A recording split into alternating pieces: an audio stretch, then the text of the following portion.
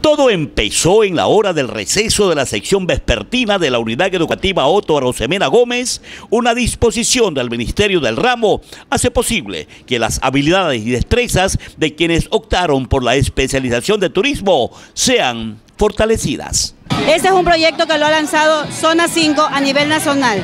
Este proyecto de Pilas Panas tiene como, finalidad promover el desarrollo de las habilidades, destrezas y el talento de los estudiantes para que se involucren en las diferentes actividades, ya sean estas de canto, baile, teatro, tener un, momento para que ellos puedan este, exponer o se puedan distraer dentro de la institución, para que ellos vean que hay muchas actividades que pueden desarrollar con sus compañeros.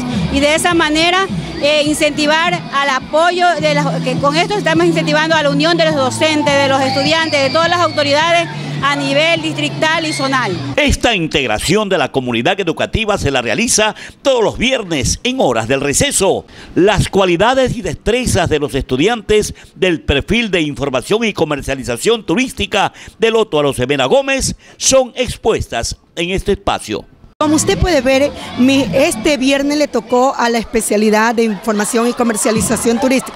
Las chicas eh, no solamente tienen eh, eh, que adquirir sus conocimientos, sino que también tienen que demostrar sus cualidades, sus talentos que tienen ellas. ¿Y qué más?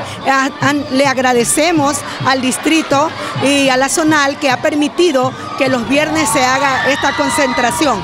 Porque mire, de esta manera ellas pueden participar y desestrarse, porque todo es estudio, ¿no? Es parte de la formación de Parte de la formación de ellas. Como ellas saben de folclore, de música, de todo eso, hasta muchas de ellas cantan y usted ve que lo hacen muy bien.